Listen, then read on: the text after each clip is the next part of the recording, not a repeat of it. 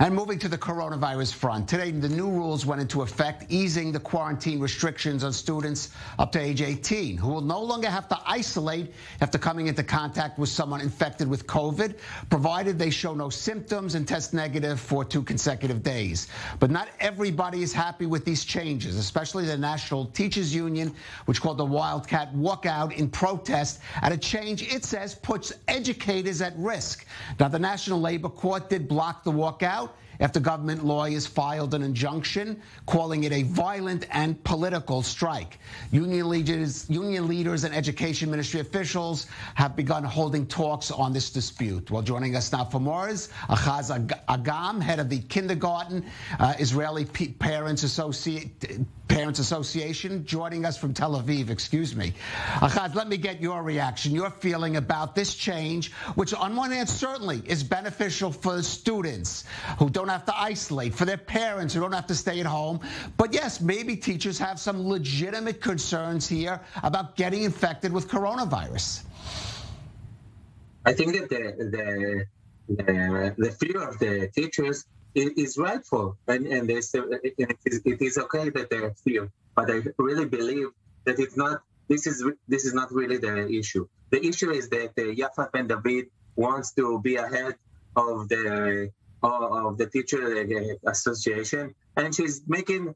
Uh, excuse me, but she's trying to to replace the the prime minister or the minister of health or minister of education, and she's doing whatever she likes. There's a, a, a certain fear that the teachers can be. But uh, after two years that our kids been in a, in a Zoom school or at home and uh, isolated from other kids or in quarantines, it's really time that they'll have uh, stability. They'll be back to school, to kindergartens, to be where, where, where they need to be. The damage to their health is much more uh, severe if they'll stay home than go to, to the uh, institutes. And even the teachers understand it. If you've seen today, a lot of teachers uh, don't agree with uh, whatever Yafa uh, Ben David tried to do. And I think she, she just uh, threw a Hail Mary. She didn't really believe that uh, this strike is going to happen.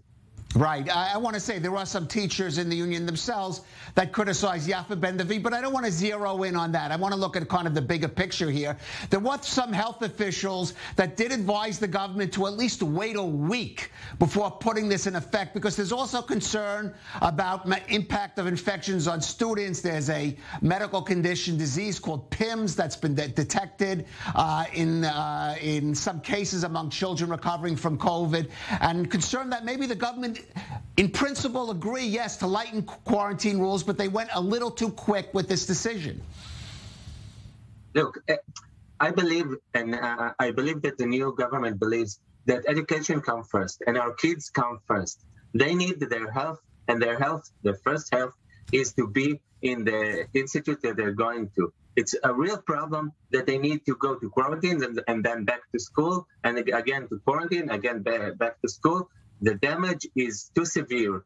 And I, I'm really happy that someone took a brave decision and, and put the education ahead of everything. It's not easy. Look, if we're going to stay with the, all the quarantines right now, it's going to be a lockup for all, all, all Israel because all the kids, all the, the small kids, the kindergarten kids will be in school. Their parents have to be with them in house, and then they'll have a quarantine for the whole country together. This is a, a, brave decision, a good decision. It's a decision. It's a decision that we ask for. Uh, we had other uh, um, suggestions that will be uh, less severe, but I, I, think it's a good decision. It's something that even goes uh, beyond that. It's something that the government says we believe in our kids, we believe in our futures. We're starting to put the effort in their mental health, and it's a good decision.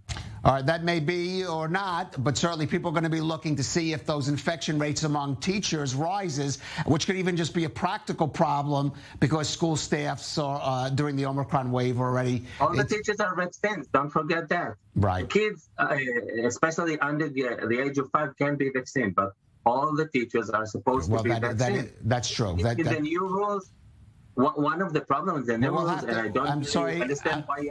Achaz, we'll have to we'll have to end it on there, but you're correct that of course it's a mandatory not for teachers to be vaccinated. Achaz Agam, thank you thank you for joining us on I-20.